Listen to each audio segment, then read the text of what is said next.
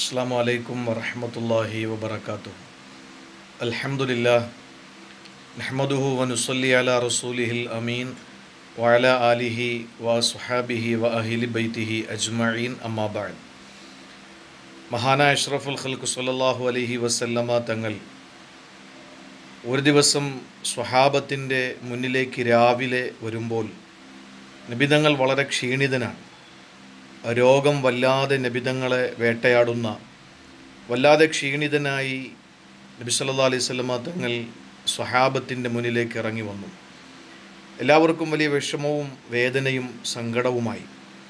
കാരണം സഹാബത്തിന്റെ അവസ്ഥ അവർ ഉപ്പയേക്കാൾ ഉമ്മയേക്കാൾ സർവസ്വത്തെക്കാൾ സ്നേഹിക്കുന്ന കാരുണ്യത്തിന്റെ പ്രവാചകർക്ക് എന്തെങ്കിലും സംഭവിച്ചു പോയാൽ അവർക്കത് സഹിക്കാൻ പറ്റുന്നതിനും അപ്പുറമാണ്. അവർ വളരെ വേദനയിൽ അന്നത്തെ പകൽ മുഴുവനും കഴിച്ചുകൂട്ടി.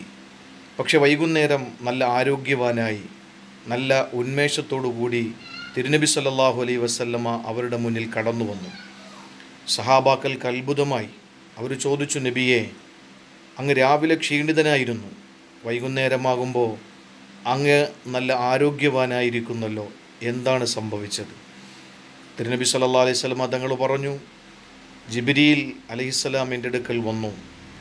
എന്റെ തലയിൽ കൈവച്ച് ഓതുന്നതിനു വേണ്ടി എന്നോട് കൽപ്പിച്ചത് സൂറത്തുൽ ഹഷറിലെ അവസാന മൂന്ന് ആയത്തുകളാണ്.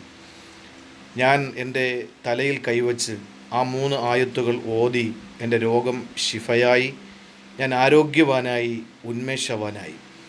സൂറത്തുൽ ഹഷർ നമുക്കറിയാം ലവ് അൻസൽന ഹാദൽ ഖുർആൻ എന്ന് തുടങ്ങുന്ന ആ ഭാഗം. ആ ആയത്ത് ഒഴിവാക്കി അവസാനത്തെ മൂന്ന് ആയത്തുകൾ ഹുവല്ലാഹുല്ലദി ലാ ഇലാഹ ഇല്ലാഹുവ എന്ന് തുടങ്ങുന്ന മൂന്ന് ആയത്തുകൾ നമുക്ക് രോഗം വരുമ്പോൾ നാം തലയിൽ കൈവച്ച് ഓതണം.